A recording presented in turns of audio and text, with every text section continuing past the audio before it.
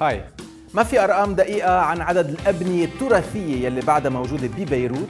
سنة 1995 كان في 1016 مبنى على لائحة وزارة الثقافة. صاروا 520 بال 1997 وتم بوقت لاحق تصنيف 200 مبنى أثري منها بس.